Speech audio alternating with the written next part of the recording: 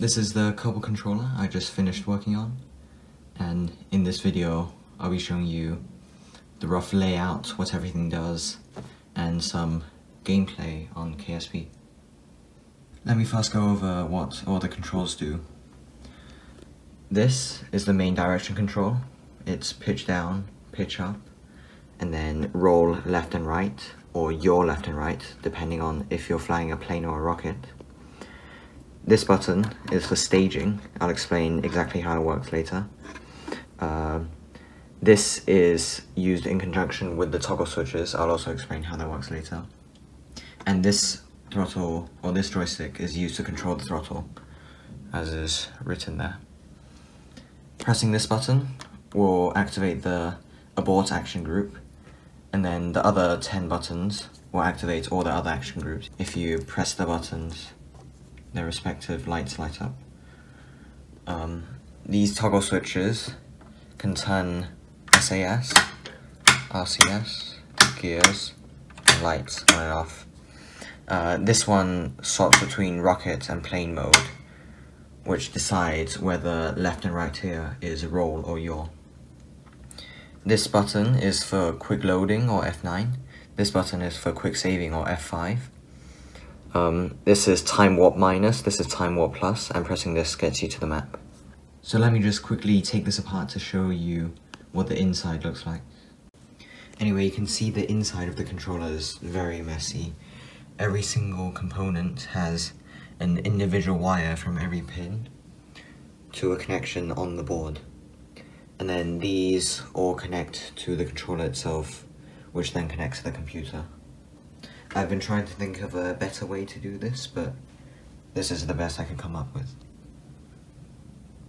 So I just opened the controller up again to look for a problem. You know, with the multimeter and drill and everything. Turns out the microcontroller was unplugged. So I just plugged it back in and everything worked again. Anyway, I'll just put this back together and start playing some KSP.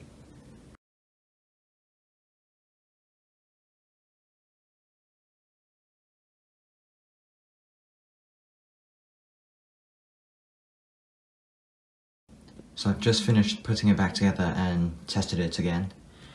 Everything is working. You can see if I move a joystick, the values move on the computer, which means it's able to communicate. So now I'll open up Kerbal Space Program and start playing. So I just started a random sandbox save and this is the default Osprey plane.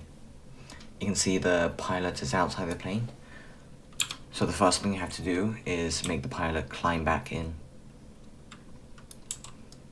He has to climb back up the ladder and into the cockpit. So now we're into the cockpit and I've had the look. The action group to retract the ladder is action group 4. So I'll press the number 4 button on the controller. You can see the LED turns red and on the screen, the ladder has started retracting. Now the ladder is fully retracted. What we can do is get the key that arms the staging, put it in, and turn.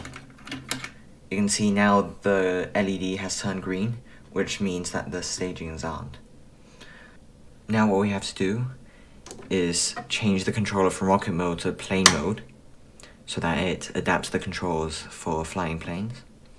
Turn on SAS and press this button for full throttle. Or you can press the big green button to turn on the engines. You can see the plane has started moving. But it's not moving very fast because the brakes are still on. So I'll turn off the brakes. And now it's really going. The left joystick controls the yaw, and turning it makes it makes the plane go left and right. The right joystick controls the pitch, and now the plane has lifted off the ground.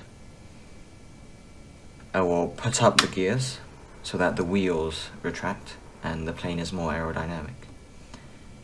And now I can use this joystick to roll and yaw the plane.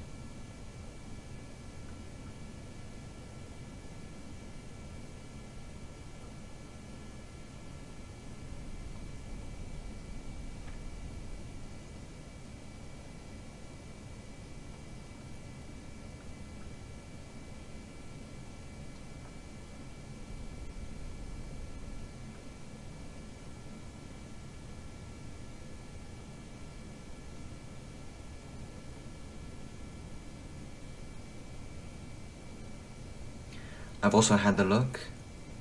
Action Group 5 is the action group that turns on the afterburners. So I'll press 5 and the afterburners of the engine turn on. You can see that the speed dramatically increases. We're now roughly the speed of sound. So now if I turn around and suddenly pitch up, it's amazing that the plane didn't break apart from that. You can see the wings were flexing a lot. Okay, I'll cut throttle and turn a bit to slow down. Okay, that's very aggressive.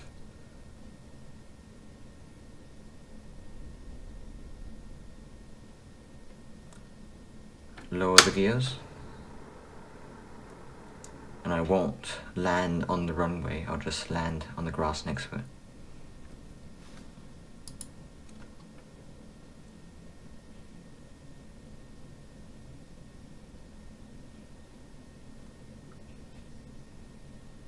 Now as I'm approaching the land, I slowly pitch up.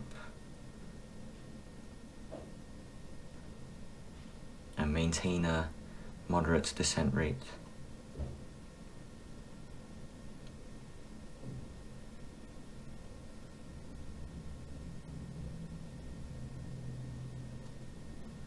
And I just pull up a bit on the joystick and the plane touches down. I'll turn on the brakes and now the plane should slow down. So that's how you use the Kerbal controller I just built. I think it was a really fun experience building this controller, not only playing with it, but actually designing and constructing it. So if you have any questions, you can put them down below. I have a GitHub page where I have a 3000 word document explaining all the technical aspects of this controller and also another document that goes through the process of building it. If you would like to do something similar, I would highly suggest it. I think it was a great experience. Um, again, if you have any questions, just ask me. I would be willing to help anyone. So thanks for watching this video. Goodbye.